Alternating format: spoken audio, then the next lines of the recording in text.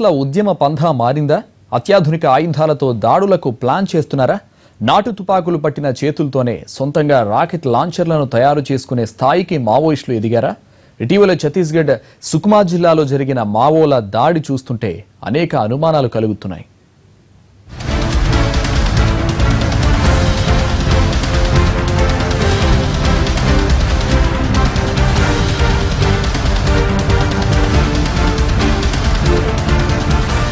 మావోయిస్టుల ఉద్యమ పంథా మారింది. ప్రజా సమస్యలను గాలి కుదిరేసి బలగాలను టార్గెట్ చేస్తున్నారు. ఎప్పుడో జరిగిన ఎన్కౌంటర్లకు ప్రతీకారం అంటూ వారిని దారుణంగా పొట్టనబెట్టుకుంటున్నారు అత్యాధునిక ఆయుధాలతో దాడులు చేస్తూ హడలెత్తిస్తున్నారు. ప్రజల పేరు చెప్పి పోలీసులను సజీవ దహనం చేసే విద్యను కనిపెడుతున్నారు. ఇవి ఇప్పుడు నక్సలైట్లపై వినిపిస్తున్న విమర్శలు.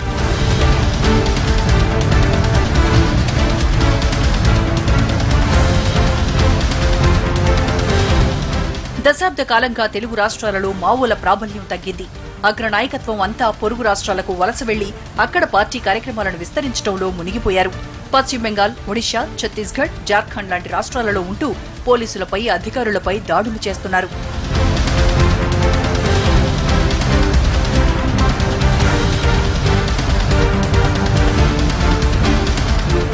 కొంతకాలంగా కనుమరుగైన దళాలను పునరుద్ధరించే పనిలో పడ్డారు మావోయిస్టులు.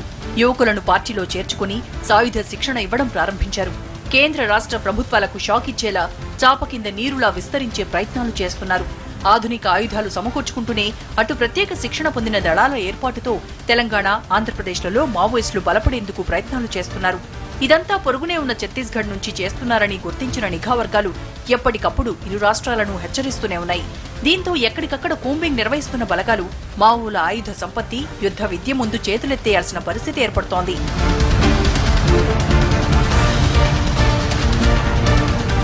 అడవిలో దళాలను దెబ్బతీశామని పోలీసులు భావించేలోగానే మావోయిస్టులు రెచ్చిపోతున్నారు. దెబ్బకు దెబ్బతీస్తూ అందులోనూ ఎప్పటికప్పుడు కొత్త కొత్త విధానాలతో అటాక్ చేస్తూ భద్రతా దళాలకు షాక్ ఇస్తున్నారు. నక్సలైట్ల వ్యూహాలను యుద్ధ విధానాలను అర్థం చేసుకోవడానికి భద్రతా దళాలకు టైం కూడా దొరకని పరిస్థితి.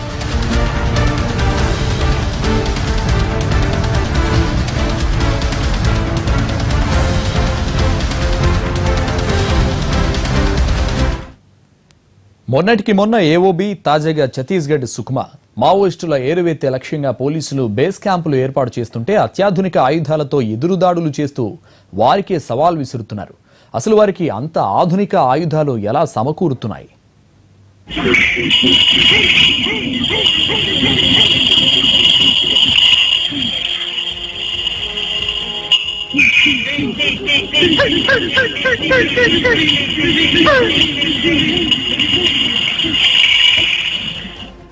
మావోయిస్టుల ఏరివేతే లక్ష్యంగా పోలీసులు గ్రేహౌండ్స్ బలగాలు ఛత్తీస్గఢ్ ఏవోబిల్లో బేస్ క్యాంపులు ఏర్పాటు చేస్తున్నాయి. అడవుల్లో కూంబింగ్ నిర్వహిస్తూ మావోలను మట్టుబెడుతున్నాయి.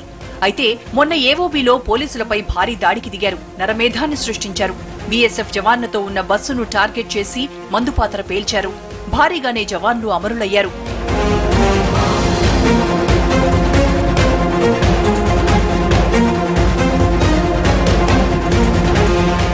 తాజాగా రెండు రోజుల క్రితం అంతా ఐదు రాష్ట్రాల ఫలితాల కోసం ఆసక్తిగా ఎదురు చూస్తుంటే మావోలు పంజా విసిరారు. ఏకే ఫార్టీ సెవెన్లు రాకెట్ లాంచర్లు ఐఈడీలతో రెచ్చిపోయారు. ఛత్తీస్గఢ్ సుక్మా జిల్లాలో దాడి చేసి పన్నెండు మంది సీఆర్పీఎఫ్ జవాన్లను బలి తీసుకున్నారు.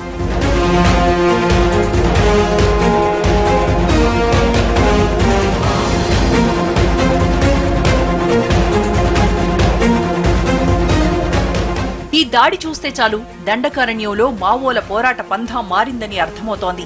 అత్యాధునిక మెషిన్ గన్లు రాకెట్ లాంచర్లు సమకూర్చుకున్నట్టు స్పష్టంగా తెలుస్తోంది. ఓవైపు విదేశాల నుంచి లేటెస్ట్ వెపన్స్ మెషిన్ గన్స్ను తెప్పించుకుంటూ మరోవైపు దండకారణ్యంలోని ఆయుధ తయారీ కేంద్రంలో సొంతంగా రాకెట్ లాంచర్లను తయారు చేసుకుంటున్నారు మావోయిస్టులు.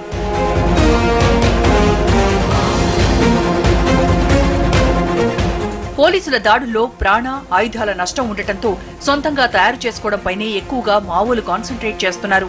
ఆధునిక ఆయుధాలను సమకూర్చుకుంటూనే సినిమాల్లో చూపినట్లుగా విల్లు బాణాలతో దాడులకు తెగబడుతున్నారు. బాణాలకు శక్తివంతమైన అత్యాధునిక పేలుడు పదార్థాలు అమర్చి విధ్వంసం సృష్టిస్తున్నారు. వాటిని వదిలే సమయంలో మందుగుండుకు మంట అంటించి లక్ష్యాన్ని చేరగానే పేలేలా చూసుకుంటున్నారు. ఇప్పటివరకు ఈ తరహా దాడి జరగడం దేశంలో ఇదే మొదటిసారి.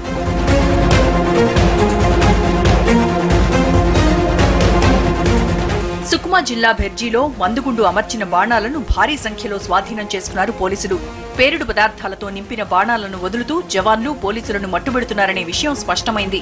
గతంలోనూ సొంతంగా హెలికాప్టర్ తయారు చేసుకున్నారు మావోయిస్టులు.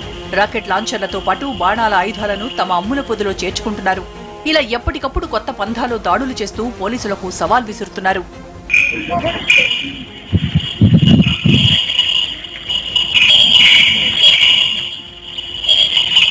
strengthen